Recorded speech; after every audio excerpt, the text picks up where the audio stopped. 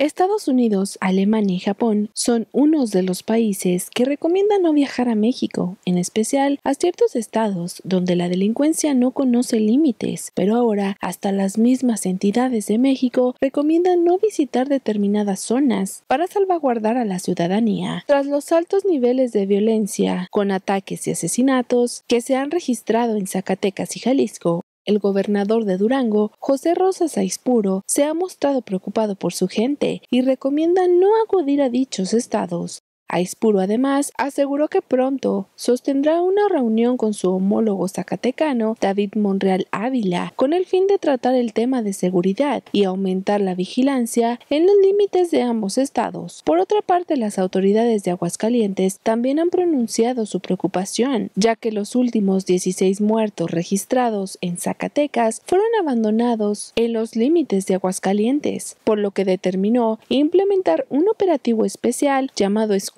con el que pretenden impedir el ingreso de los criminales. Hasta el momento se ha comenzado con operativos en donde el helicóptero Águila 1 realiza recorridos durante el día y la noche por carreteras, terracerías y brechas del estado. Informó para el sistema de noticias TV Libertad Ana Mireles.